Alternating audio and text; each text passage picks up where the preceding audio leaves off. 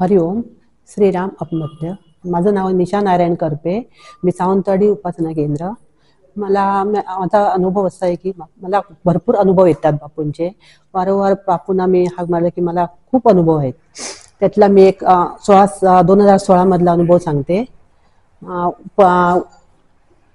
प्रपत्ती होती चार दिवस प्रपत्तीला होते. आणि माझं बेळगावला जाणं झालं. पाहुण्यांबरोबर मी जायची होती. तेव्हा मला असं वाटलं की बाप ऊस लागतो ना उपासना केंद्रात प्रपत्तीला. तर ऊस आणायचा तिथून असं मी ठरवलं मनात. आम्ही गेलो पाहुणे आमच्या पाहुण्यांबरोबर मी. आणि नागनवाडीला गेलो आमच्या पाहुण्यांकडे आणि आम्ही थांबलो तिथे.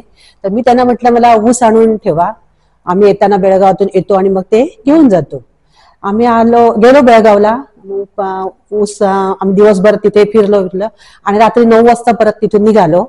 तेव्हा ते त्यांच्याकडे परत येऊन आम्ही गाडी आम्ही थांबवली. नऊ वाजलेले तेव्हा रात्रीचे ते मग आले पहिली ऊस ते गाडीकडे आले. आमच्या गाडीत सामान खूप भरलेलं होतं. आम्हाला उतरायला मिळालं नाही. ते भाऊजी आले आमचे पाहुणे. आणि ते बोलले मला वहिनी ऊस आलाच नाही. आज गाडी आलीच नाही. तेव्हा ऊस भेटले नाहीत.